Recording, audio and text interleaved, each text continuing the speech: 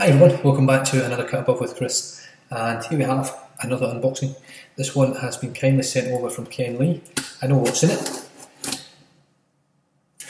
Ken was kind enough to send it over and add a couple of little bits in here for me.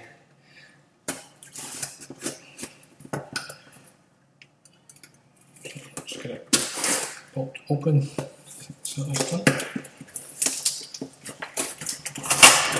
Oh, stuff it.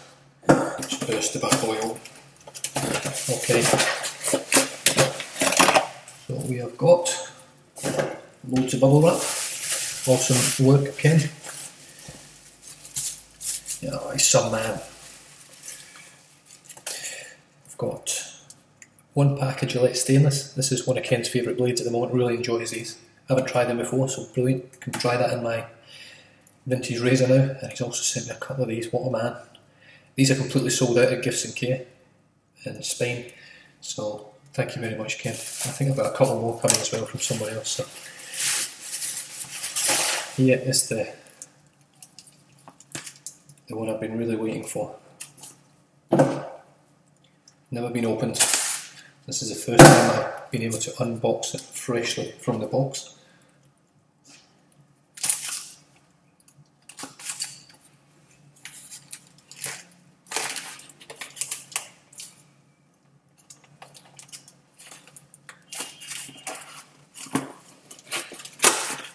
Oh, sellotape there as well.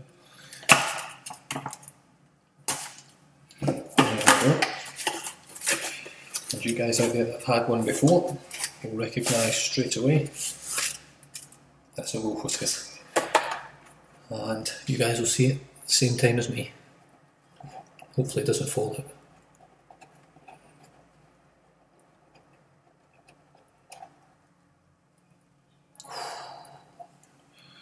Holy shit. Look at that.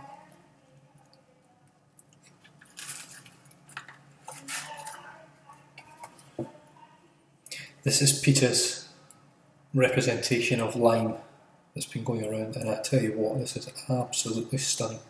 Beautiful bit of white on the bottom. All it is is basically white and green, it's a beautiful, rich green. It's got a 25mm Black Wolf Elite fan, so I've never used one of these before. It's got a lot of backbone. Oh, it's got heaps of backbone. This is going to be a different sort sort of brush feel. As you can see, it's a lot narrower on the top. Still got that sort of very dense.